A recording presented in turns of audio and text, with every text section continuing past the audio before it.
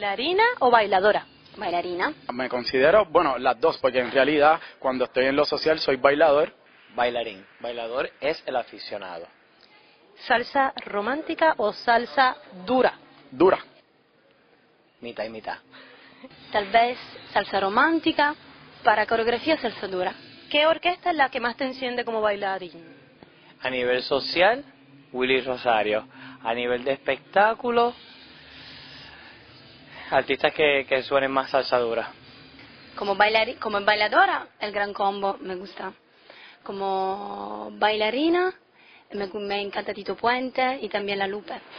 En realidad la voz de Luisito Carrión es, es bien bien sabrosa para bailar y pues de los de antes, ¿verdad? Por no decir los viejos, pues Mael Rivera, si hubiese eh, vivido para esa época, yo creo que ya estuviera realizado como bailarín. ¿Bailar en uno o en dos? Dos. En dos.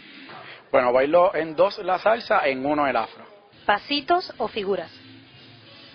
Pasitos. Los dos. Pasitos.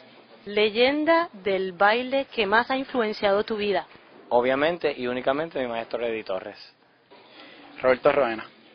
Mucho respeto para Eddie Torres, pero para mí leyenda estuvo Jason Molina. Gracias.